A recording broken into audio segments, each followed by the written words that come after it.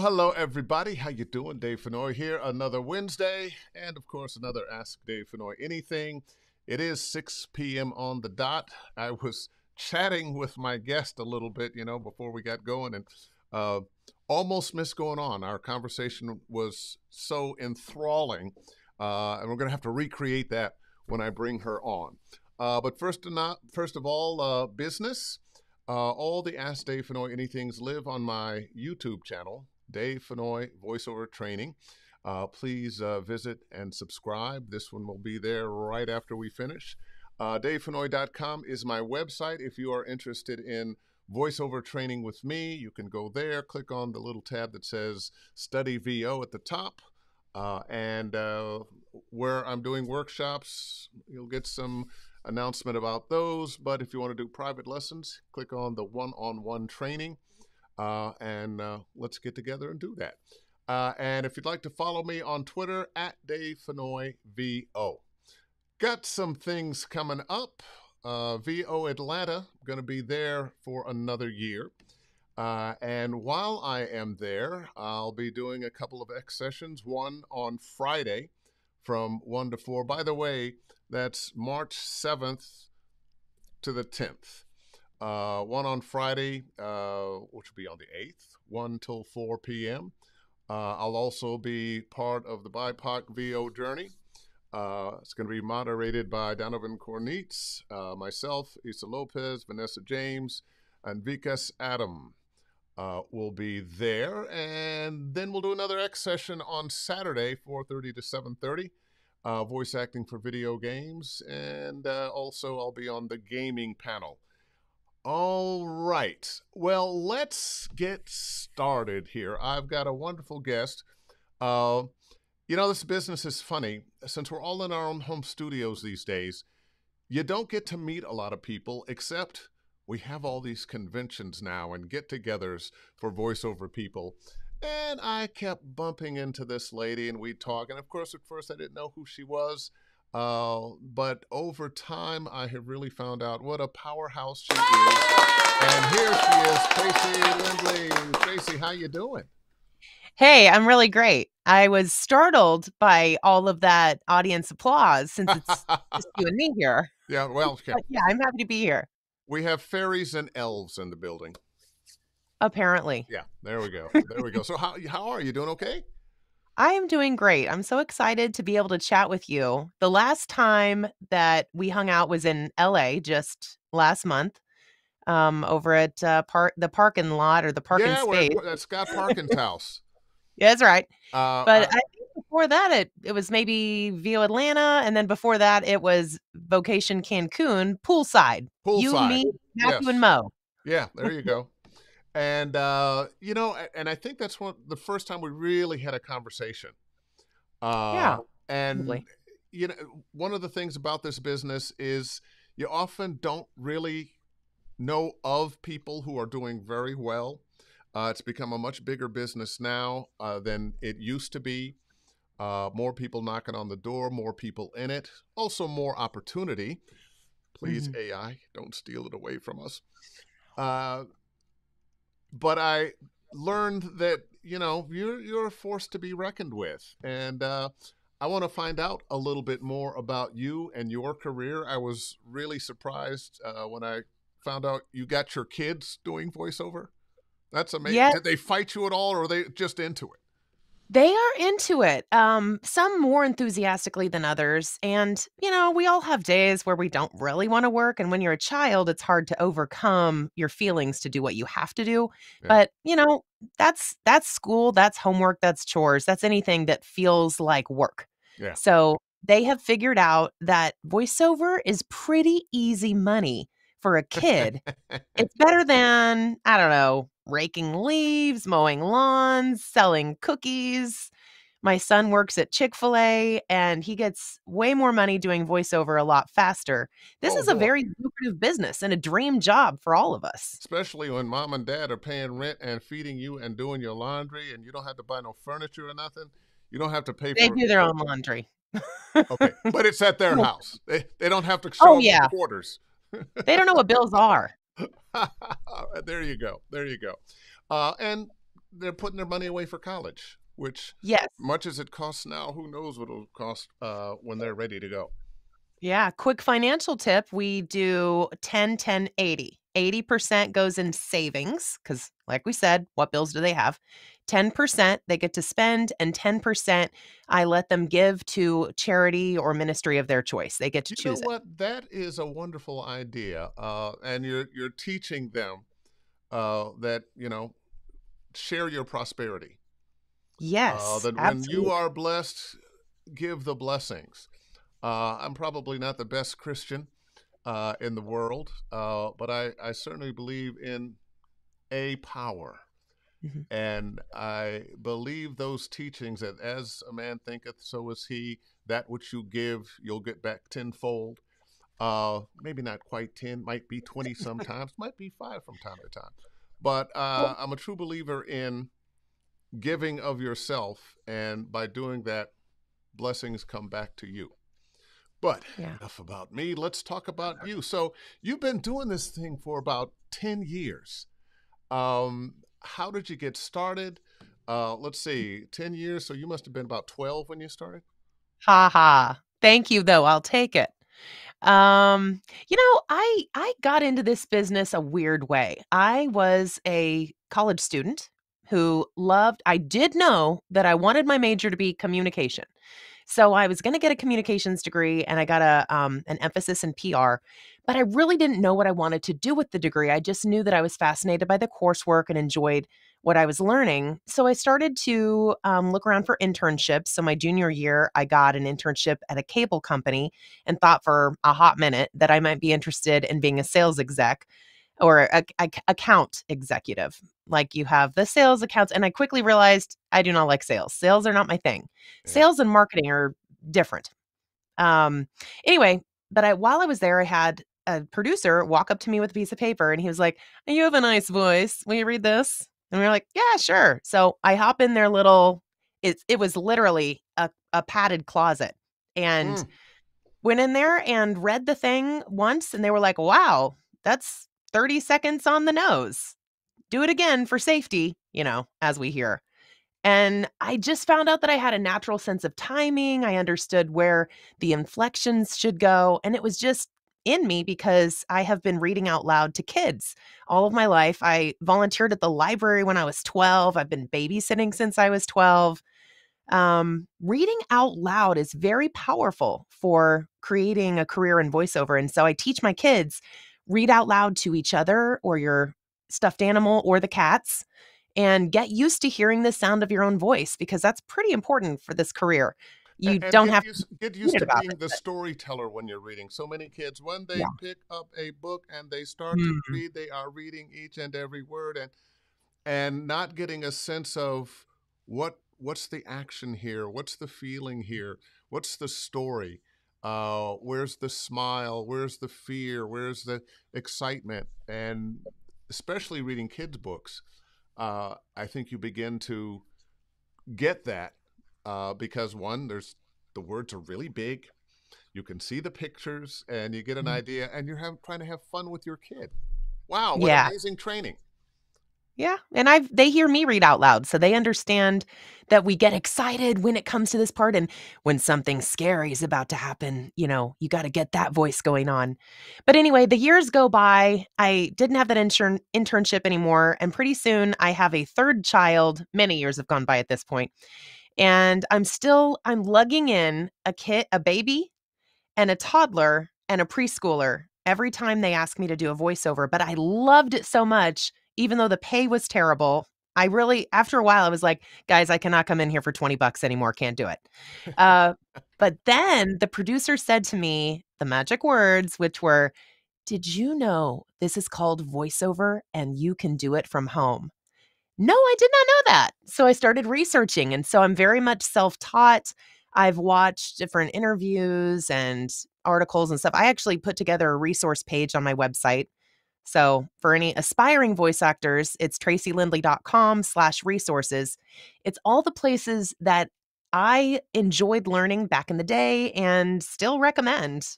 there's a lot of great podcasts out there to listen to, including Dave Fennoy's. YouTube Thank you. channel.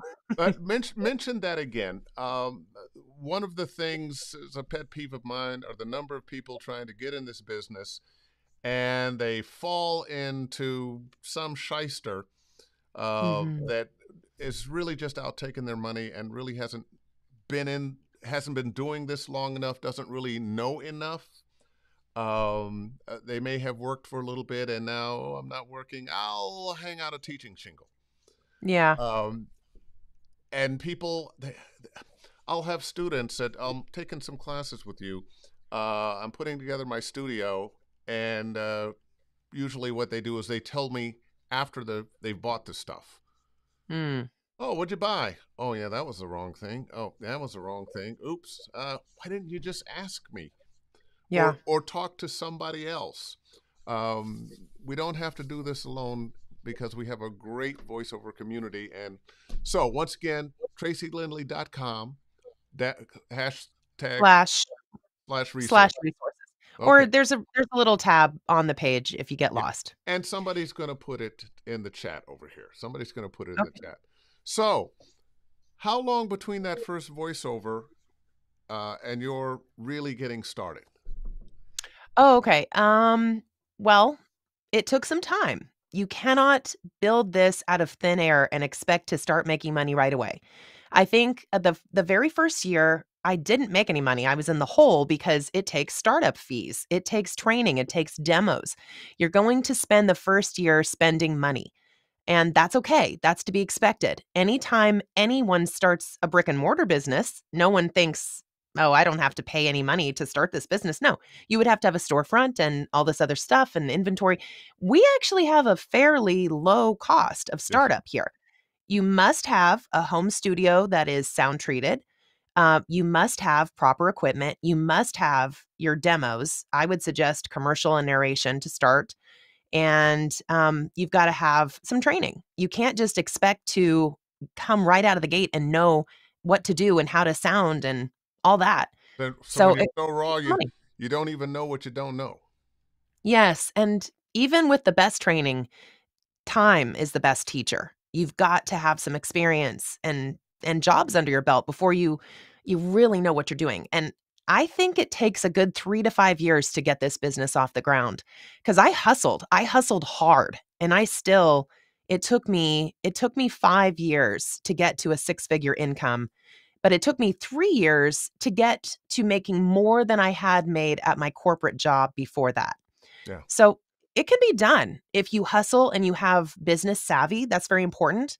You can't have a starving artist attitude. Um, sometimes you got to do the boring jobs to make the money. And you have to understand your value and what fair rates are. Don't just take 50 bucks. You know, that doesn't help anybody. It can become quite the Wild West out there if we don't keep the bar high. We have Well, to you know, what to charge. Uh, fortunately, uh, we as a community, we've always been a good community, helping each other and cheering each other on. But we're becoming a better community at helping each other with information. Uh, I'm on the board of NAVA. I, I, I have to admit, I think it's all the other people that are doing all the work, but I'm happy to co-sign and go, yeah, that's a good idea. I Uh, love the organization. I'm so glad you brought it up.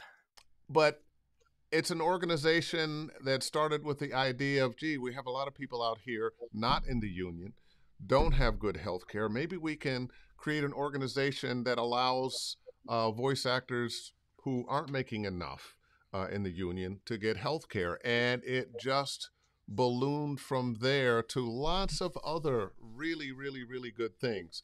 Uh, NAVA is at the forefront of AI uh, and helping with hopefully with the legislation.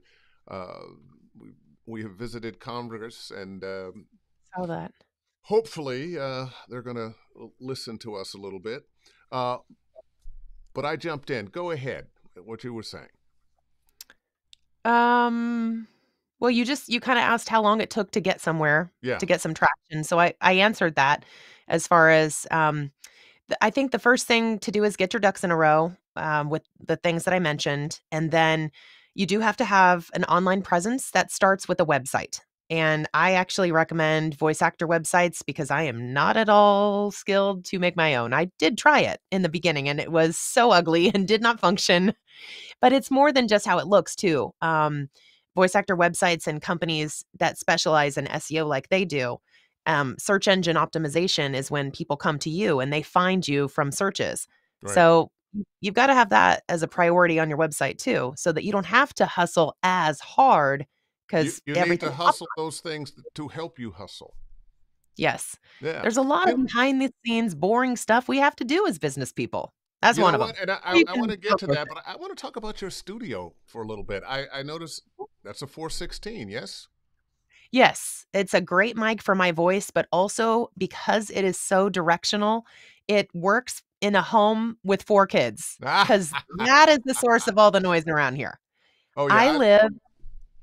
Oh well, I, I was going to say I I live on four acres of land and a, a, large home here in Missouri, and so it is n- like noise is non-existent on the outside of my home, but on the inside of my home, that's where the kids are noisy, and they have learned since they've all you know, grown up with mom's recording or, you know, mom, they respect my business boundaries. And I'll tell them, hey, I'm recording from this time to this time. I need you guys to not run down the hall because your feet just echo in the booth above me because I'm in the basement.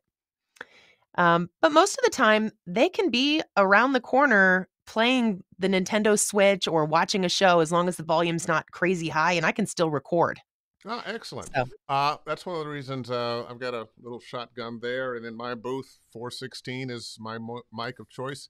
I can swing in a 103 if I like, but mm-hmm. only if somebody asks me for it. I, really? So the 416 is primary, huh? Ah, uh, the 416 is primary. Um, I think it's because when I first came to LA, uh, that's what you ran into more often than not in studios. You would see uh, some 103s and some U87s but especially in the promo world, uh, you saw these 416s, and it's it's been my mic of choice ever since. What what's your uh, what's your what DAW do you use? What's your interface? Uh, my interface is the SSL 2 Plus. It's pretty simple, but it's got two headphone jacks because when my kids do their sessions, I'm engineering on the other side of the curtain. Ah. So we've got to have two jacks. Mm-hmm. They have just been incredible. It has been so fun to watch their professionalism grow. They are hanging out with very top elite people on some of these sessions. And they don't really get nervous because they don't understand how important they're supposed to get nervous. they're too young for yeah. imposter syndrome. I'm so glad. God bless them. You know, they're just sweet and innocent. And they don't know that these are very powerful people. And it's really nice to watch an executive talk to a child and they're almost a little nervous sometimes. The they don't know what to say. the, the executive. these these uh, creative directors or who you know whoever's directing at the top sometimes they don't know how to talk to a child to get them to perform. So it's kind of entertaining. And at that point, I will jump in and basically start directing the child, ba- listening to what they're telling them. What kind of things do you do differently? I mean, I know your mom, but what kind of things do you do differently than that uh, director might do? What? How could they improve working with children? You have to speak the kids' language. So you have to take your vocabulary words down a notch, put them at, you know, the, the third grade level or whatever. And you have to be able to be very descriptive with how you want the child to say something. You can't just say, make it brighter. You have to say, okay, now when you say the line, I want you to smile. And you have to be very specific on, I need you to slow down on this word, but stop drawing out this word. And children also have a tendency to say things like going and they'll end it with a G.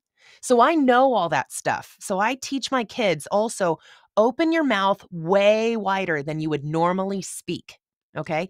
Because kids have a tendency to kind of shut their mouths like this and they don't really use their whole, they have a lot when, more when they're a little nervous, a little, well, I, mean, I really don't, I don't, can we, mm.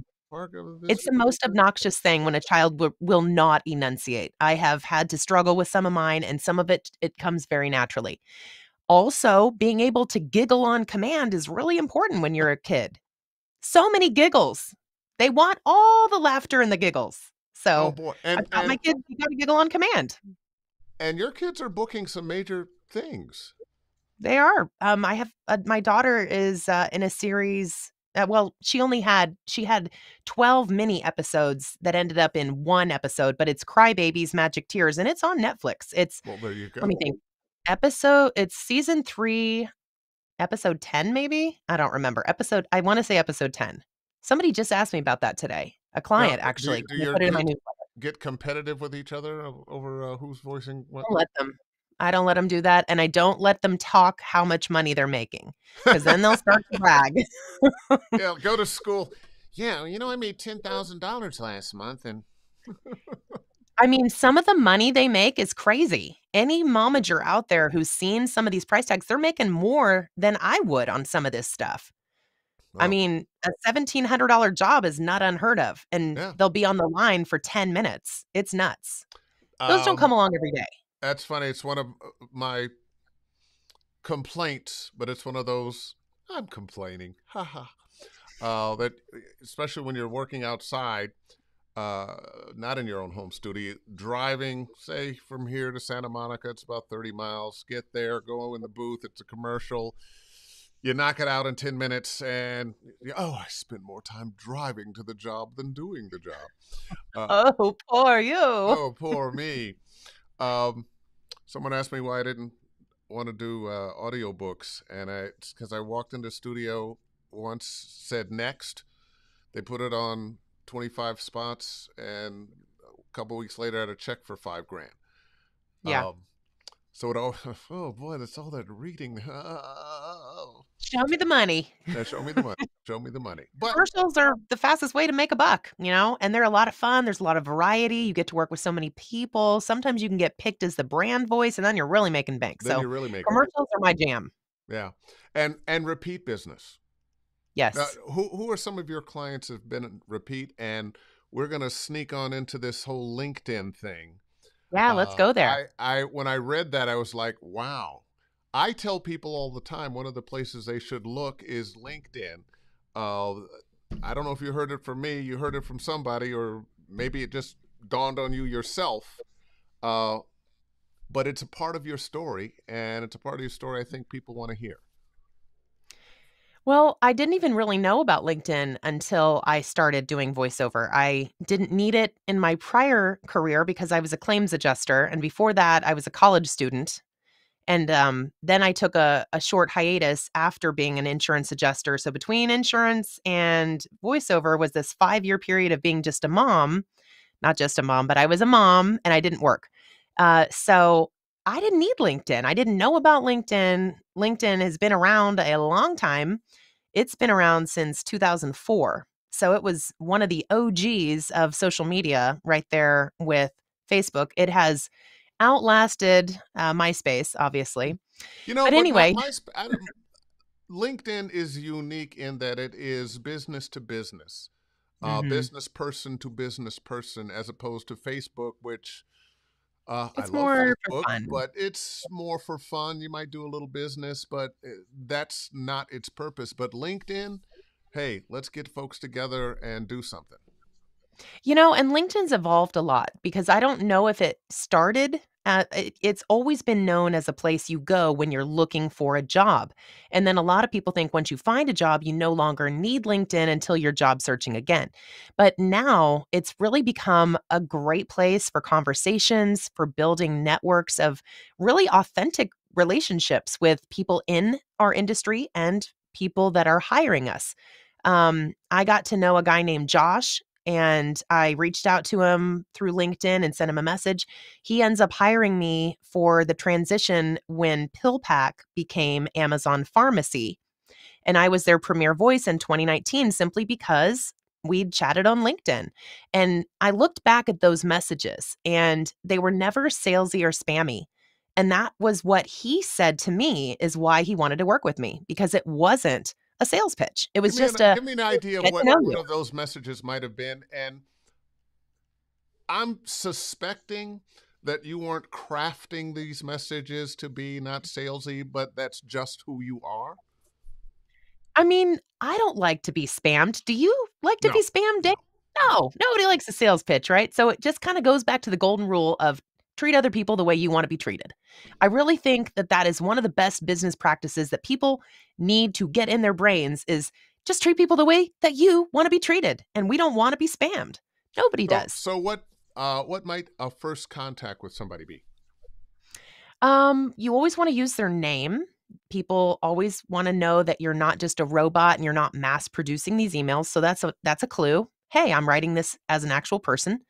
Um, LinkedIn has just started limiting how many uh, personalized invitations you can send per month. So that's been a huge bummer and a a real misstep on their part, if you ask me. Um, are and in fact, I've complained to customer service already, and I need to do it again because you know what they say: the squeaky wheel gets the grease. And every time someone brings it up, I say, write to customer support and tell them you don't like this. So if you pay, you can have all kinds of personalized invites, but you used to be able to just have as many as you want on the free account, and that's been limited as of the last. And I bet three that's why they're doing it to encourage more people to pay. hmm It's really a money grab and it's not cool. But anyway, um, if you have the ability to send a personalized invitation, do. If not, send it anyway. But you don't want to send it out into the abyss. I teach people the three steps of my method are to optimize your profile so that people know who you are, what you offer. They can get to know you just through your profile. And then the second step is to search and connect with the people that need voiceover talent. So don't just spam the universe. Try to use job titles and, and the advanced filter features that would allow you to reach the people that actually need your services. So And then the third step for what we're talking about. broadcast producers, uh, writers. Um, who else might? What other job titles might you be looking for? Things like creative director, video producer, you don't really know who you're going to get sometimes. Uh, Josh with Amazon that I mentioned, his, I think his title is video producer. And so that's how he got on my radar and I started sending him a message. But to answer your previous question, I just kept it pretty casual. Um, hi, Josh, you know, and I tried to personalize it with, I saw this on your profile, really enjoyed watching your demo reel but be honest about it. Like actually watch their demo reel. If you can mention something specific from their reel, that's even better. And then you just say, I hey, you know, if you ever want to work together, I've got a home studio and I would love to help you anytime. As opposed don't to, have hey, you could hire me, and I'd be happy to, and whatever you're paying that other person, I'll do it for less. And um, Never undervalue yourself. No, no. Um, and I find you do better trying to solve their problems, trying to Yes. help them, uh, rather than focusing it on I need this job. Exactly. Because they don't know me.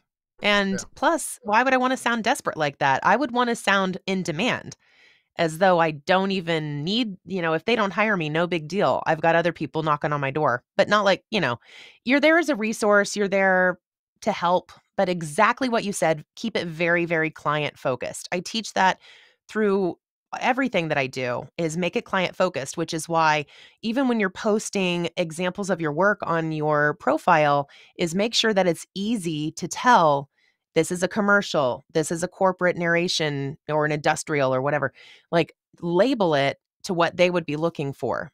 And when you're writing the about section and experience, use white space in between so it's easy to read. Use bullet points, use emojis so that it's easy for the client to see what you offer. They don't have time to look through this big paragraph. In fact, LinkedIn's algorithm will flag that as not good for the user experience and you'll be going down lower on uh on search on searches. Fewer words, bigger type, less space, and more spaces. Um, Well, you don't have a lot of control over the type and and boldness, but I do use capitalization and emojis sparingly. now let me ask you this: um, I did some uh, research on salespeople years ago that still serves me. Uh, how many touches before you get something positive from someone you've been contacting on LinkedIn? Well, they say 7, right? I've heard you've got to do 7 touches, but I just really don't have time for that. Um so I don't do it. I Oh, just okay. send I usually just send one and if it's a really hot lead that I really want to work with, then I will circle back. Like I'll I'll make a note in my CRM um, the customer relationship management tool, whatever you use. Some of the most popular ones are Voice Overview, Nimble, HubSpot. Those are some of the more common ones. Um, but you just make a note and circle back and just kind of find a reason to reach out. Maybe they've got their birthday listed on their profile and you can say happy birthday or um I don't know, look at their work, just go and look at their profile and see what they've been posting and comment on that. Yeah, well, But direct messages are most are the best way to reach someone yeah. is you I know uh, you're getting through. I tell people to use LinkedIn. I use it a little bit, and I've, gotten a little, but because I'm old school, I've got agents all over the country. Uh, most of what I'm doing is auditioning or, or or being booked because oh, let's Dave Fennoy, let's book him. We know he'll he'll do the job. Um, but I tell people all the time, LinkedIn probably is your best resource, no matter what genre of voiceover you're doing. Uh, but the thing I want to um, emphasize that you said is personalized. Don't Mhm. ask for work. Uh, find out a little something about the people, the person that you're talking to. Uh, sometimes I'm talking about uh, trying to find people who do video games. Find out what games they did. Find out how well the games did. Uh, what are the favorite characters from that game? Uh, who are the writers? Uh, and offer them congratulations. Uh, oh, I, I, or or good luck on that thing you're about to have come out. Uh, I love don't that. don't uh, pump yourself up. Hey, and I'm so and so, and I do this, and you should hire me, or I'm looking for a job. Let them know you do it, but don't Mhm. ask them for a job. Just let them know you. Hey, I've been watching you, or hey, congratulations on that. They'll see your Yeah. information that this is this is what you do. Fantastic, fantastic. Uh, I'm going to see. I think we do have some questions here. Oh, I'm gonna pop that up, and I'm gonna. Whoops. There it is. Uh, Kelsey V. Tracy, how can you ask for testimonials without being a nag? Love your website, by Mhm. the way. Super easy to navigate. And uh, I'm just going to say, um, I read a book when I first did my website. I've got somebody else doing it now. Uh, it said the book was called "Don't Make Me Think." Make it Mm, okay. easy. If you if I don't have to leave the page, great.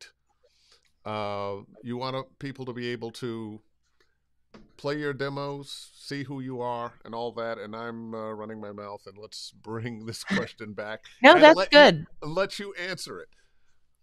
Well, I love that uh, Kelsey's been to my website. That means that uh, you know she was checking out what I offer, getting to know me, and that's exactly what you want to do with a client is get to know them a bit. It is very good to check out their website because when I see that you said love your website, by the way, super easy to navigate. You're showing me that you have taken time to research a little bit about who I am and you paid me a genuine compliment. You're already doing two of the things right that you need to do on LinkedIn. It's the same thing. So, Kelsey, to answer your question about asking for a testimonial, first of all, make sure it's somebody that really does know what it's like to work with you. Now, I will say that there's people who are probably watching right now that have never booked a voiceover job. And so they're like, well, how do I get a testimonial if I don't have any jobs? Mm-hmm. Well, what you can do is go to your coach, go to your demo producer, go to someone who has helped you in your journey and ask them to start the ball rolling. If you're looking to focus on your LinkedIn profile, the best way to do that is to ask them for a recommendation on LinkedIn because there's a million different places you can get a review, right? There's there's Google My Business. I have that on mine and I do like to get reviews there. But um there's also Facebook. I wouldn't deal with that. I would not ask, don't care, nobody cares about your Facebook business page for voiceover. Um, the main places that people I think are going to be looking are Google and your LinkedIn recommendations. So all you have to do is think of someone who has a good, you know, had a good experience with you. If you're already emailing and they said something nice about you, you can just say, Hey, is it cool if I send you a LinkedIn recommendation request and you can basically say what you just said, but put it in a review? And they're usually really happy to do it because they they loved working with you and you can you can also pay them a genuine compliment saying i think that future clients would really value your opinion and what you have to say about it. And who doesn't want to help out another freelancer? I mean, I do. I constantly write Google reviews. If you look me up on Google, I've written probably 17 reviews about a massage place I went or a restaurant I liked, or I just wrote one today for the lady who did my hair and makeup for my recent photo shoot. Just be nice and help other people, and they want to help you too. So oh. don't be a nag, but do be assertive. Nothing wrong with asking. Just yeah, be nice uh, about it. By the way, um, I always ask my guests to send 10 or so photos at least for the promo. I probably won't use them all, but I need more than one. Uh, and you just sent me all these great pictures. They were, they were just great. They were just great. Uh, let's see. Pay for the hair and makeup people. All the ladies out there. Pay for the hair and makeup artist. She's uh, worth it. or he. Mine was a female. All right. Uh, Davina voiceovers, diva voice. I'm American living in Japan. Time difference is very big. LOL. Do you think it's a detriment? Because when I'm sleeping, VOs in the US are awake and working. Should I downplay my location? Oh, interesting mm. question. It is an interesting question. I would say that one of the primary things people want from a voice talent is availability. And so I wouldn't go around saying that you live in Japan because they actually might see that as a downfall. And I don't even know how you're doing it because the time difference is so major. So I don't know if you're becoming a vampire, sleeping during the day and working during the night whenever the people in the US are awake or what. But hey, if you're doing what you want to do and you're hustling and you love living in Japan, then I would just say um, probably, yeah, downplay that because availability is so key, right, Dave? I mean, you can I, I, win or lose the job. I totally agree. By the same token, um, we can live anywhere now. I mean, the fact mm-hmm. that you have a career in Kansas going is a big switch from, say, 10, 15 years ago uh, mm-hmm. before mm-hmm. the internet and the pandemic certainly made it even more possible. People opening up their minds to, oh, I can't have a person in the same room with me. Hmm, what's their studio like? I mean, you have to have a home studio now to be in this business. Uh, so I, I do think people are willing to work with you if you're someplace else. You might have to learn to live on a little kind of little different schedule. Uh, mm-hmm. If you're an American living in Japan and you want American clients working in American time, I mean, it's bad enough that three hours between the East Coast and West Coast. Mm-hmm. Uh, mm-hmm. You might have to alter your living style, your sleep schedule. Uh, if you expect to get enough work to support you there. Because mm-hmm. you really have to collaborate with yes. people that are, if you're wanting to do a directed session, there is work that you can do that's not directed. A lot of that is going to be audiobooks, e learning, uh, some corporate narration, but even industrials I've booked, they always want to do a directed session, it seems. Uh, so, from me to you, which do you prefer, okay. directed or undirected sessions? Oh, come on. I love a directed session. Yeah, me too. I love it because then you know that your client is getting exactly what they want and you can deliver and and also what's fun is to shock and to surprise them with how well you take direction and I I get done and and and I will do take 1 and I've had I've had an audible gasp from the creative team like that was so good and then another one is like, I love her voice. And, i and I just joke and I'm like, well, I only have one job. So yeah. anyway. And, and, and that's nice. That. That's nice when you hear that. Well, um, you know, we're supposed to have you for an hour. Uh, that was uh, just a couple of minutes. Uh, let's just do another couple takes because. Uh, love when that happens. And yeah. let's see, got another question here. Uh, Terry Briscoe, what types of posts on other socials are best to to post on uh, LinkedIn videos, booked it posts, etc. Good question. Okay. Um, yeah, it is. You know, there's a lot that you can cross post. You'll see a lot of cross posting from me, from LinkedIn to Instagram to Facebook. I don't tend to post as much on Facebook if it's businessy because a lot of my friends don't really care. And I don't want to spam my real life friends who just like to hang out with me and drink coffee and go to lunch and, you know, whatever, they don't really care about maybe like today I posted about the winter blues. I did not cross post that onto Instagram or Facebook because it was really geared toward LinkedIn. So I didn't cross post. I could have, I guess. But um I don't know. I think videos are a lot of fun to cross post. And plus, if you're going to spend all this time making the video, you may as well cross post it, right, Dave? I mean, Dave yeah, makes these videos. Yeah. So at Facebook, LinkedIn, YouTube, Twitter. Yes. Um, and I forget about at Twitter. At some point, I'm going to have to become a TikTok person. Uh, oh, yeah. I'm not going there. You can have it. you know what? Uh, when we were talking before uh, we started the show, uh, you mentioned the winter blues. Uh, and especially being, and I, I feel it a little bit here. It's it because it's colder and we've got some rain. Uh, I mean, come on now, Dave. It's it, it, it hit fifty something degrees. Um, but I understand that. But do you get the winter blues? You know, it really depends on the season, uh, like which year. But right now, my kids were supposed to go back to school on January 8th. January 8th, they called a snow day. January 9th, they called a snow day. Day. January 10th, they called a snow day. They went back to school the 11th, and then they called another snow day on the 12th. Like, this is the way it's gone. I have had six snow days, plus there was Martin Luther King Jr. Day. And I just feel like, as much as I love my children, they gotta go. They're not like, listening, are they? go back to school. I know. Bye bye.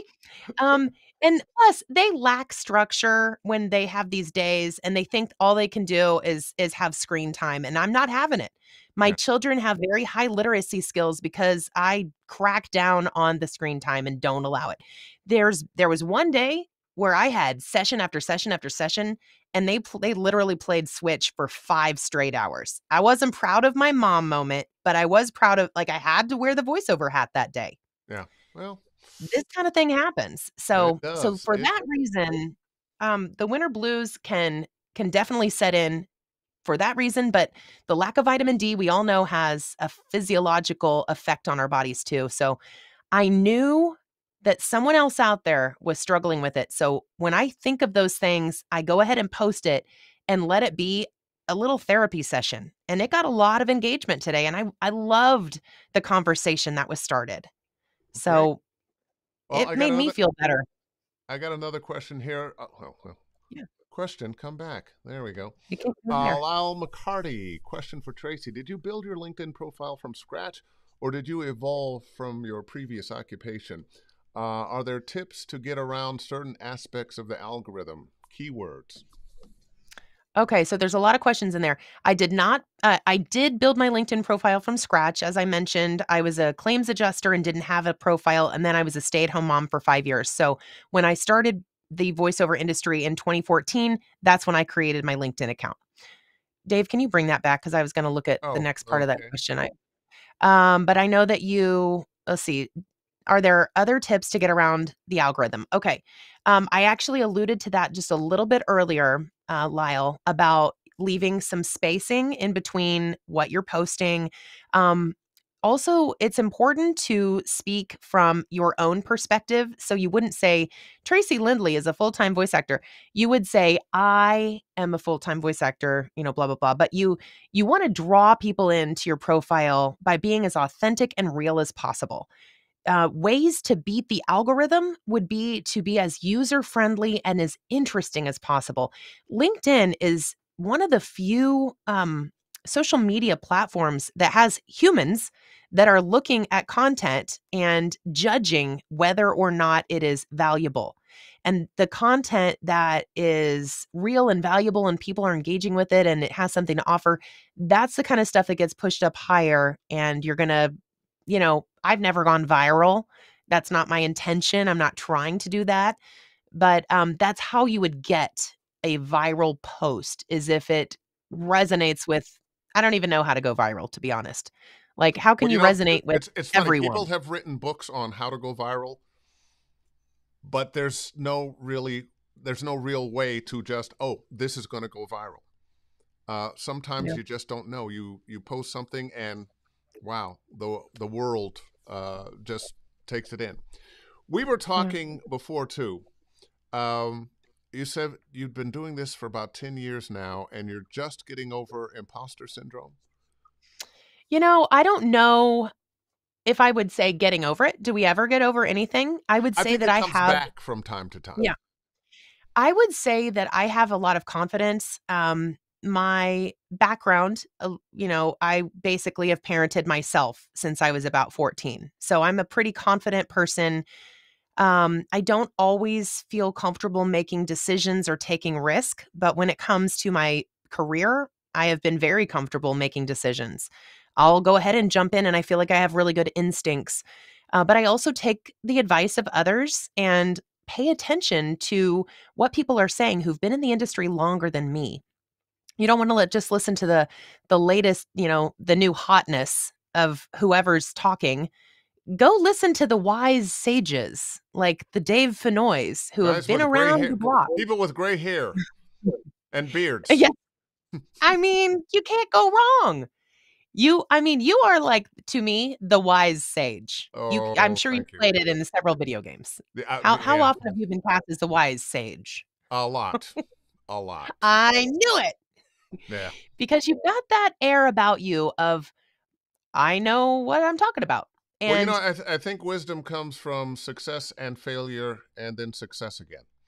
Uh, from making mistakes, overcoming them, uh, and realizing at some point that you are definitely going to make mistakes. Uh, it never ends. Uh, some things are just luck, um, but you got to be prepared and in the right place, and then there's luck. Uh, Mhm. there's a lot of luck that goes into having a successful career, but you got to pre- be prepared for that luck when it happens. Uh, let's see. I've got another question here from Terry Briscoe. Hi, Tracy. Thanks for being here and sharing your knowledge, which, by the way, yes. Uh, I would like to know what you think the most underused feature of LinkedIn is. He always asks great questions. That is so great that I'm trying to think of how to answer it. Uh, you know, the thing that pops into my head is recommendations. Um, I mean, there's not a soul alive in anymore who will go somewhere like to a new restaurant. Let's say you're planning a night out and you want to know what restaurant to go to. You're going to go straight to Google or straight to Facebook and look at reviews, right? Before we make any purchase, we're going to go check out the reviews. At least you do if you don't want to waste your money.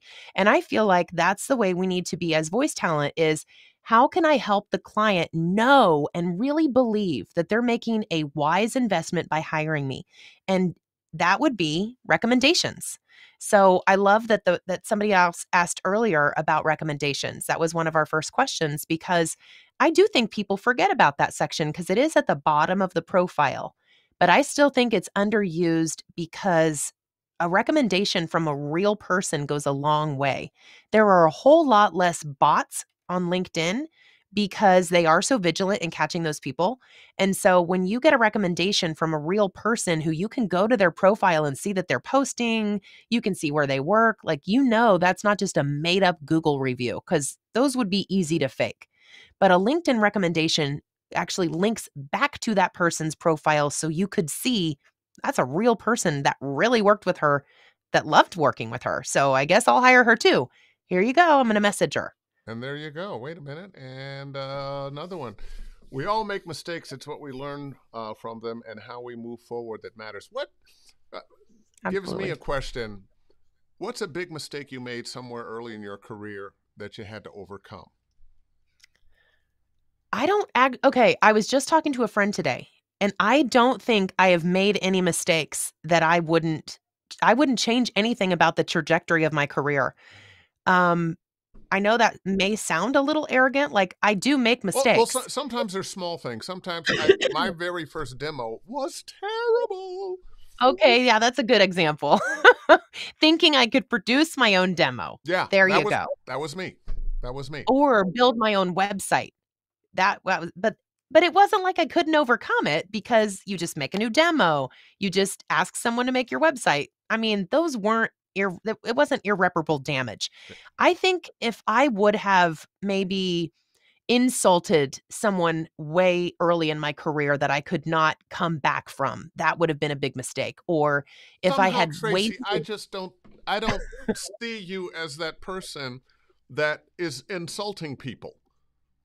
I'm not really doing it on purpose, I, but I we just, all say I, you know, I, I know people who I would, I would, oh yeah, well, uh, he he messed up because he insult, he talked to this person wrong, he insulted this person. I know some people like that. Um, I'm It always was me in my twenties. Well, when we're when 20 we're real young 20-year-old and arrogant. Oh my gosh. I'm not I am so glad to be past my 20s. I said a lot of stupid things then.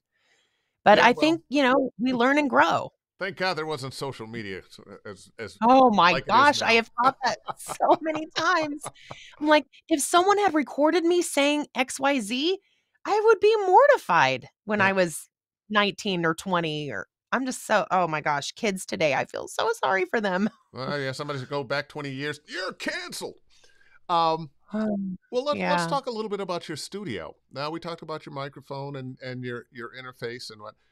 Um, did you make a mistake when you first put your studio together, or did you Oh, get really good advice? my No, no. Okay, that's a good one. Do you know what my first studio was, Dave? No. It was a refrigerator box. With I am not joking. okay, while Dave coughs up a lung over here laughing at me.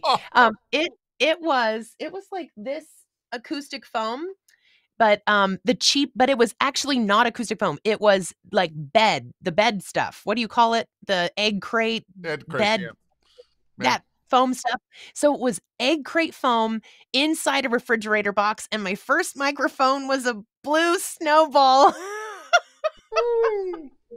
Dave, we don't know what so we don't you know. you did overcome some mistakes. Thank you for bringing up my mistakes.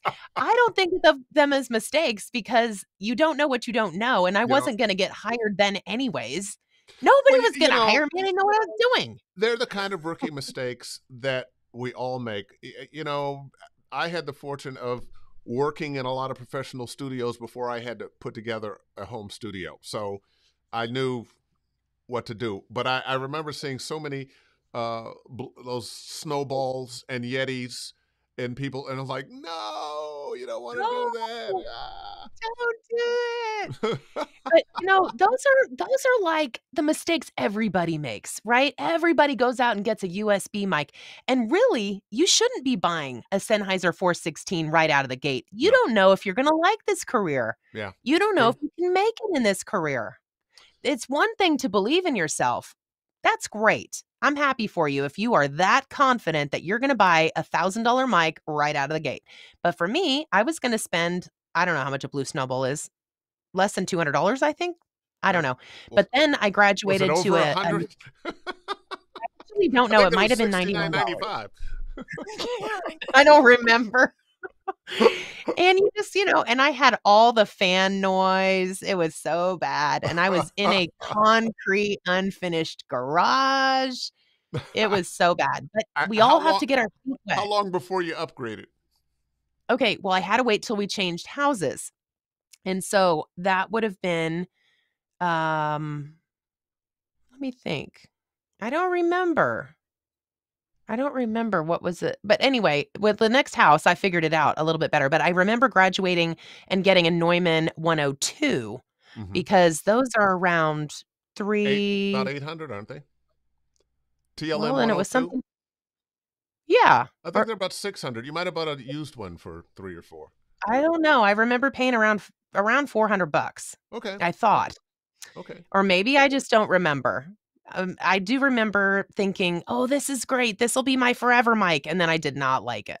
So then I got this one in I think 2016. I think so. This You know, thing is it's this thing is interesting. Staying with me.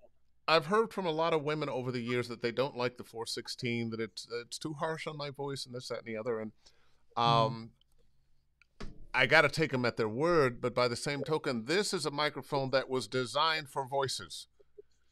You know, the, Yeah. the 103, the U87, so many of the other microphones are are designed for uh, multiple use.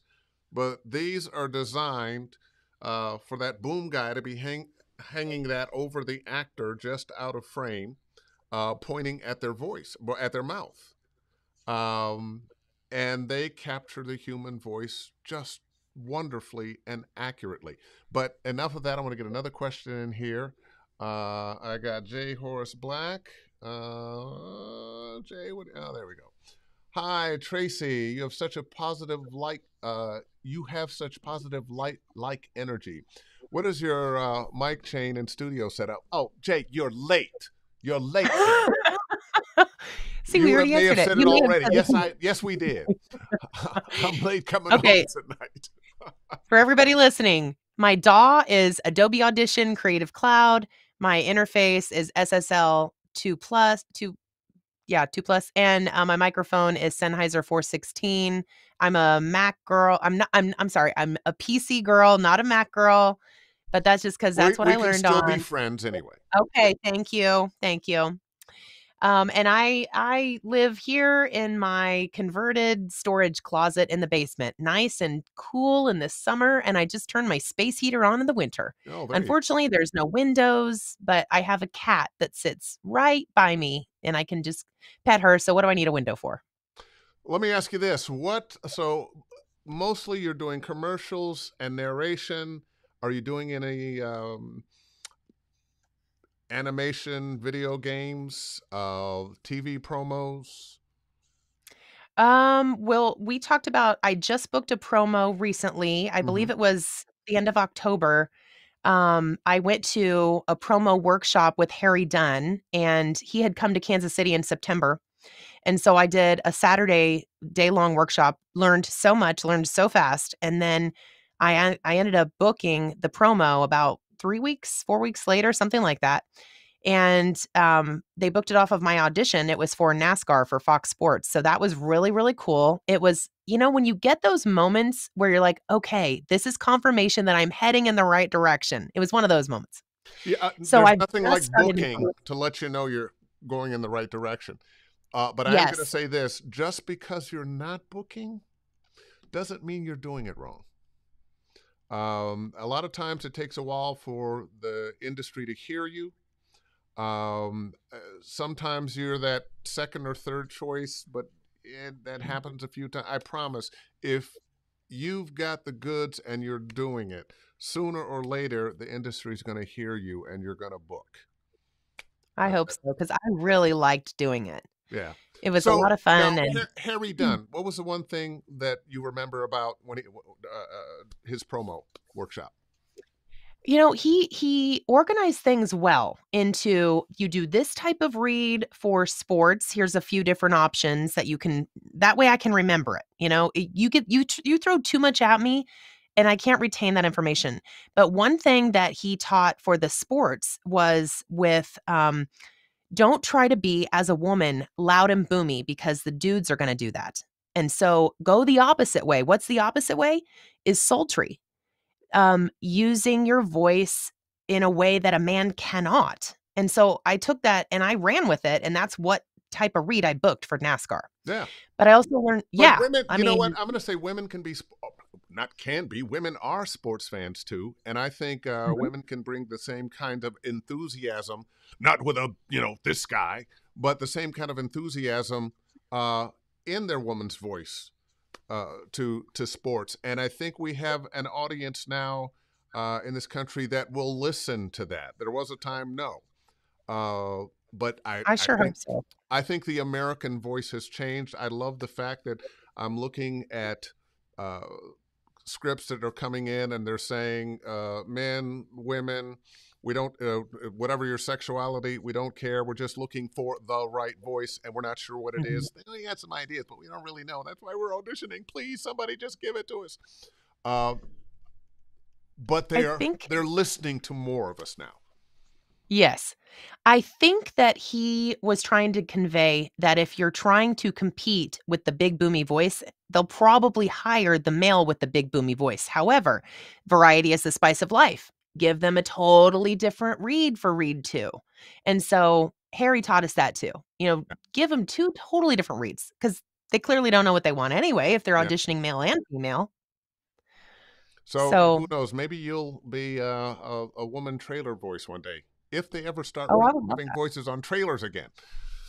I've, I've, I've noticed that. But I, I, I tell you, I uh, the early part of my career was very heavy TV promo uh, with the networks uh, and the WB and, and CNN, and uh, it's one of the most lucrative things you can do. Uh, and I, you know, if you can crack that door open and get on in that room, bravo, bravo. I want to play with the big boys. Yeah, there you go. You know, I I, bet didn't come here to mess around. I wouldn't be surprised if a year from now you've got a lot more promo stuff going on. You you have a voice that will cover it. I have heard that. I have heard that. My voice has authority, and I think that comes from the mom voice. Like, I'm in charge over here. But, you know, I think it, there's a fine line between sounding really bossy and just knowing that you you're right. You know what you're talking about. Yeah. Um, and and so the excitement of sports. yeah, there's a lot happening all the time. Yeah, yeah. But uh, We don't just think of, the- just don't think about the the, the sports uh, promos uh, because I think the the promo door, as wonderful as it is, it used to be five networks and a few cable stations. Now it's five networks and a whole lot of cable stations. Uh, not to Mhm. mention the apps. The apps you're not getting that much promo work on, but the cable stations need you, and it's every kind of lifestyle you can imagine. So, you know, fix your house, um, Mhm. fight alligators. I would actually. Oh, yeah. I would actually love to get on some kind of cooking show or an HGTV, like a some kind of flipping or or renovating of some kind.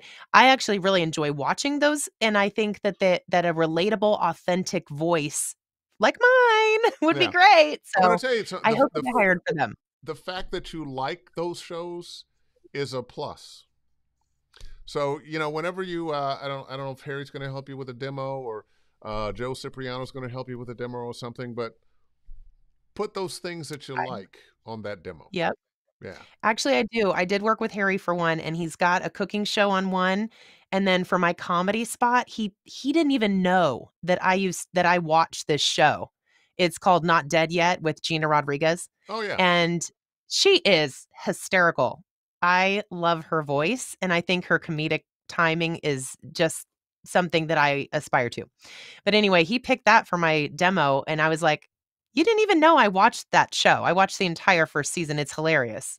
yeah. So anyway, And the other thing He- with promos, watch a lot of just sample other shows, other promos, all that. Listen, we are at 703. We could go on another half happen? hour, an hour. Time flies uh, when you're having fun. Why don't you leave our audience with um, uh, some wisdom about uh, your career and their careers and what they should be doing with themselves at this time of the year to have a successful year throughout the year. Well, being as it is January, it's a great time for fresh starts and for goal setting. No resolutions, but let's make some goals. What have you been booking? You can either choose to book more of that or you can choose to go out into a whole different branch of something else. There's so many genres of voiceover, but I do think that we have to understand where our voice fits. So, know thyself is important. Um, as far as marketing, um, don't put all your eggs in one basket. As much as I love LinkedIn, I do all kinds of different things. And I have several different agents like you do, Dave, just all across the country. Um, pay particular attention to your major market uh, agents, I think. DPN would be mine in LA, and they treat me so well. And I definitely want to keep them happy. So they're always going to be the first to get, like, when I'm starting to record auditions, number one is DPN. So there they go. They get theirs first and then everybody else. But um just uh take your career into your own hands. Don't expect someone else to do it for you. Um really and truly gone are the days when you can just rely on agent work. I really believe that. I love as much as I love DPN, they can't support my career because they only have a certain number of projects available, right? I mean, really good ones. But um, there's nothing wrong with having agents in different regions that are may- maybe not a major market. I've As a matter of booked a fact, there's ton. something wrong with not having agents in different regions. Yeah. Yeah, if you're limiting yourself, then you're limiting yourself. Yeah. But direct marketing is a great way to create a hugely lucrative career for yourself, and it's within your own hands. I tell people just five reach outs a day. Think about how much that could change your career. Five reach outs a day in a in a Monday through Friday work week, that's 25 reach outs. At, at 200 days a year. There you go. Yeah, I mean, it could change your life. If only 2% of those people hire you, it could change your life. Which is about what the numbers are. They're pretty low. Yeah, But a that's why you have to will tell you throwing you, you need hundred touches uh, out there, and you're going to get two, three percent. but the targeted searches go a long way. Yeah. So I've actually had more success as my network has grown. So my numbers have gone way up.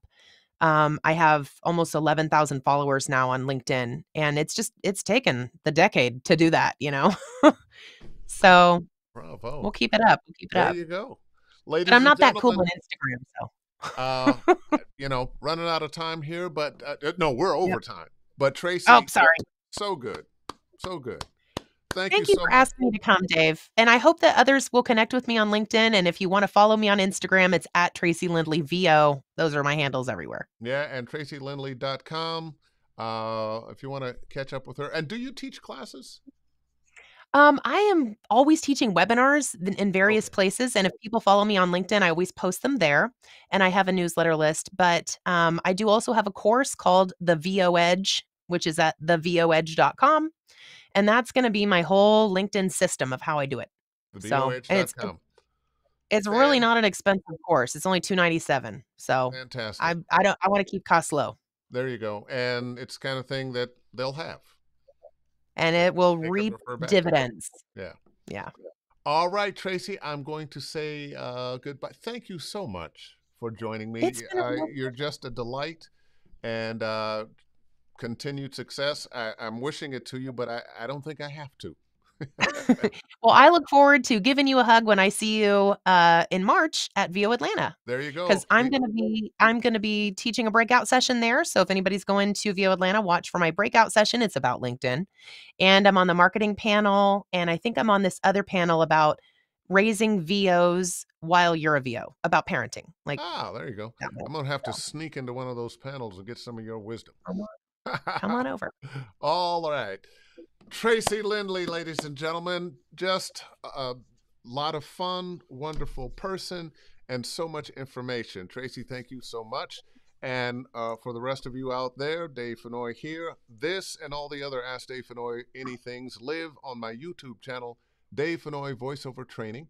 If you'd like to work with me, coaching, davefennoy.com. Click on the Study VO tab at the top. Follow me at Dave Fennoy VO for uh, Twitter X.